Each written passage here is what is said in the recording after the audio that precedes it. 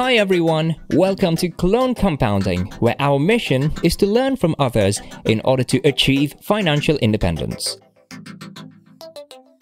In today's video, we'll be looking at the key lessons from the legendary investor Warren Buffett in his letters to shareholders over the last 40 years. Warren needs no introduction. He's the chairman and CEO of Berkshire Hathaway, one of the largest conglomerates with businesses covering insurance, railroads, food and beverages, and even tech. This video is part of the multi-part video series we're doing on the wisdom from Warren Buffett's letters to the shareholders of Berkshire Hathaway. Today, we'll be covering two key lessons on investing strategy from the legend.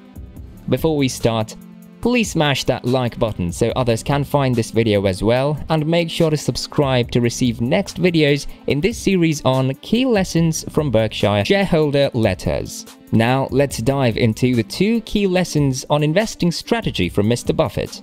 Number 1. Don't invest in a business without understanding its moat.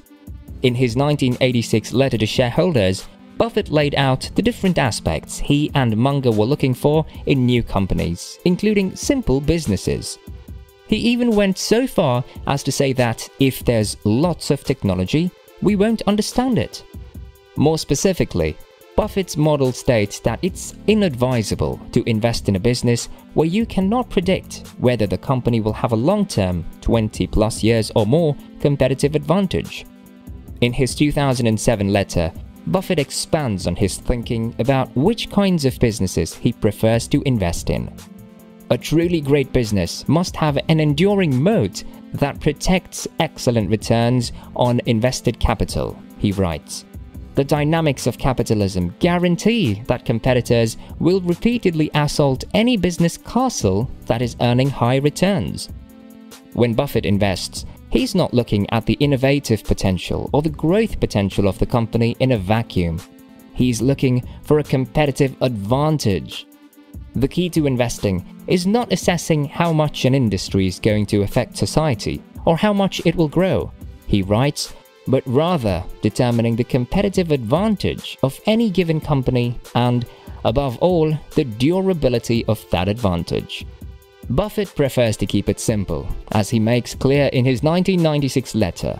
Your goal as an investor should simply be to purchase, at a rational price, a part interest in an easily understandable business whose earnings are virtually certain to be materially higher 5, 10, and 20 years from now. A good example is Berkshire's investment in Apple, which only started in 2016 when Apple was around 40 years old as a company and already had many blockbuster products, including the iPhone that was launched in 2007. So, Berkshire waited patiently to first understand the moat of Apple's business before purchasing. It remains Berkshire's largest holding. Number 2 look for companies that reinvest their earnings into growth. Mr. Buffett is well known for his love of companies that pay dividends, and Berkshire Hathaway has profited greatly from companies making payouts to their shareholders. In his 2019 shareholder letter, Buffett reported that Berkshire Hathaway's top 10 stock investments had generated almost $3.8 billion in dividends over the previous year. However, even more than paying dividends, Buffett values the corporate practice of reinvesting profits into growth. Among top 10 Berkshire Hathaway companies, the amount of earnings that are retained and reinvested is more than double the size of the earnings being paid out as dividends. As Buffett notes in his 2019 letter, the value of retained earnings wasn't always accepted among American investors. Today, this idea has become core to how Berkshire Hathaway operates.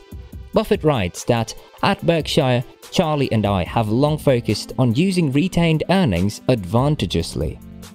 His conviction about the power of retained earnings comes from his principles that companies Berkshire invests in must share three properties.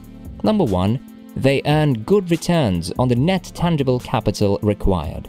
Number two, they are run by able and honest managers. Number 3. They are available at a sensible price. When companies are priced well, run well, and return capital well, it is Buffett's belief that they should be encouraged to reinvest their profits not just throw cash to shareholders in the form of dividends. Sometimes that means investing into new factories and growth, but it can also mean buying back stock, which Buffett also likes, as it enlarges Berkshire's share of the company's future earnings. Even if that doesn't work out in the short term, Buffett thinks that over the long term, investing back into the company is generally the right strategy.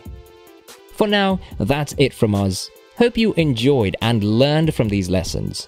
Subscribe to make sure that you receive the follow-up videos on key lessons from Warren Buffett's Berkshire Letters.